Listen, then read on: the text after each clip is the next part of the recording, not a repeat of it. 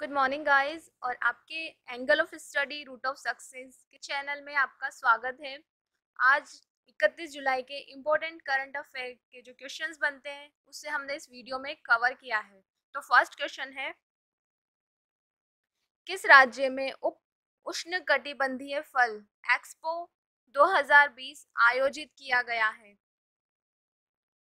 तो किस राज्य में आयोजित किया गया है?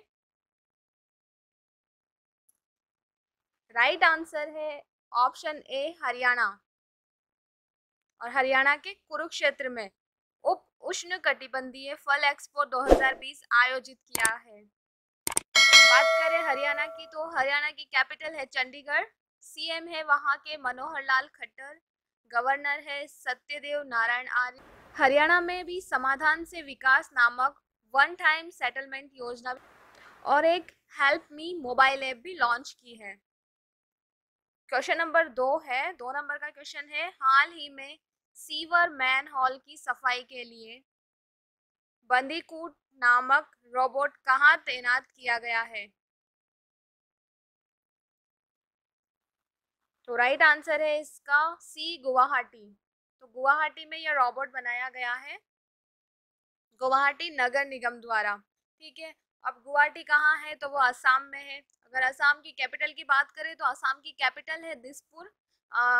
सीएम है वहाँ के सर्वानंद सोनोवाल, गवर्नर है जगदीश मुखी। नेक्स्ट क्वेश्चन है, किसकी अध्यक्षता में भारत में रुके और भारत में पढ़े? समिति की स्थापना की गई है। तो डीपी सिंह की अध्यक्षता में option B is right answer DP Singh. तो डीपी सिंह की अध्यक्षता में भारत में रुकी और भारत में पड़े समिति की स्थापना की गई है। और ये स्थापना की है एमएचआरडी एमएचआरडी डिपार्टमेंट ने। क्वेश्चन नंबर फोर, हाल ही में पेटीएम मनी के नए सीईओ कौन बने हैं? तो पेटीएम मनी के नए सीईओ बने हैं Varun Sridhar. Option B is right answer question number five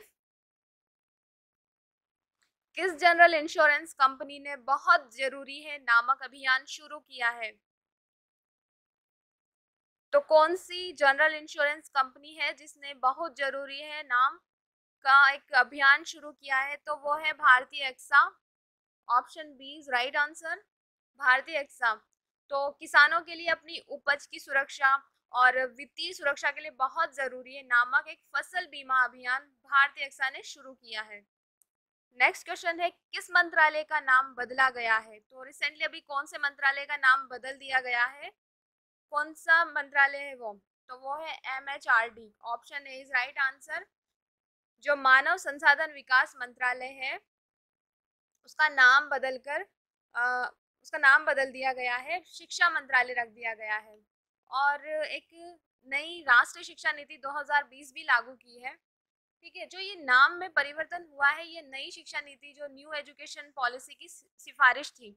actually में इसका नाम पहले शिक्षा मंत्रालय ही था, लेकिन 1985 में जो हमारे प्रधानमंत्री थे, पूर्व प्रधानमंत्री राजीव गांधी के, जो समय में इसका नाम बदलकर मानव संसाधन विकास मंत्रालय मतलब ministry of human resource development कर दिया गया था। और अगर क्वेश्चन पूछा जाए कि नई शिक्षा नीति के लिए कितनी समिति बनी तो इसका आंसर होगा दो समिति बनी है। एक है टी एस आर सुब्रमण्यम समिति और एक बनी है कस्तूरी रंगन समिति, ठीक है? तो अभी एम एच आर डी का नाम बदल शिक्षा मंत्रालय कर दिया गया है।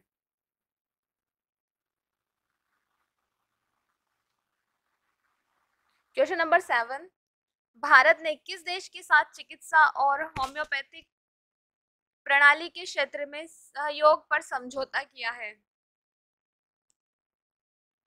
तो राइट आंसर है इसका option C Zimbabwe option C is right answer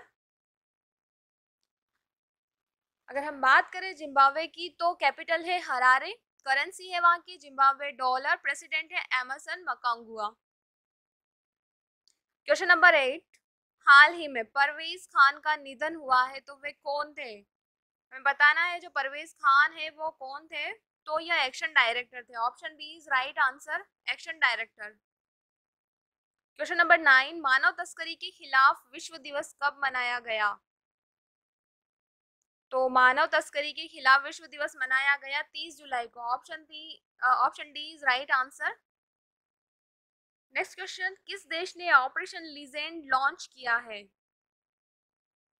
तो ऑपरेशन लीजेंड लॉन्च किया है अमेरिका ने। Option A is right answer America.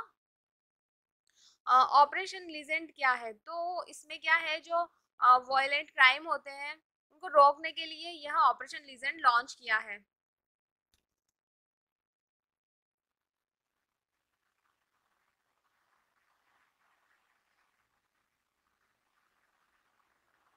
कल के क्वेश्चन का आंसर देख लेते हैं। क्वेश्चन था एशियाई विकास बैंक एडीबी के नए अध्यक्ष कौन बने हैं? तो एडीबी के नए अध्यक्ष बने Masatsugu Asakawa. Option D right answer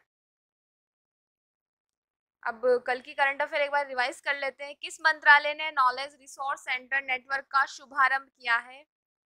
तो पृथ्वी विज्ञान मंत्रालय ने नॉलेज रिसोर्स सेंटर नेटवर्क का शुभारंभ किया है। नेक्स्ट है, किस सौर ऊर्जा संचालित नौका ने गुस्ताव ट्रवे अवार्ड जीता है तो वो सौर ऊर्जा संचालित नौका है आदित्य।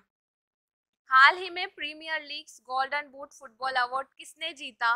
तो ये अवार्ड जीता है जैमी वर्डी ने। नेक्स्ट है किस देश ने जर्कॉन मिसाइल का सफलतापूर्वक परीक्षण किया है? तो यह परीक्षण किया है आ, रूस ने। किस देश की स्टॉक्स कंपनी टीएसएमसी में दो दिन में रिकॉर्ड 72 बिलियन डॉलर की वृद्धि हुई है? तो वो ताइवान देश की स्टॉक्स कंपनी है, जिसमें दो दिन में रिकॉर्ड 72 बिलियन डॉलर में वृद्धि हो गई है। और क्वेश्चन ऑफ़ द डे है, भारतीय क्रिकेट कंट्रोल बोर्ड के नए अध्यक्ष कौन बन गए हैं? तो इसका आंसर हमें कमेंट बॉक्स में ज़रूर देना है। भारतीय क्रिकेट कंट्रोल बोर्ड के नए अध्यक्ष कौन बन गए? ठीक है, आंसर कमेंट बॉक्स में ज़रूर दें। अब वीडियो को एंड करने से पहले लाइक ज़रूर कर दें और शेयर भी कर दीजिए अपने फ्रेंड्स में। कम से कम एक ही स्टडी ग्रुप में शेयर ज़रूर करें। Okay, thank you so much.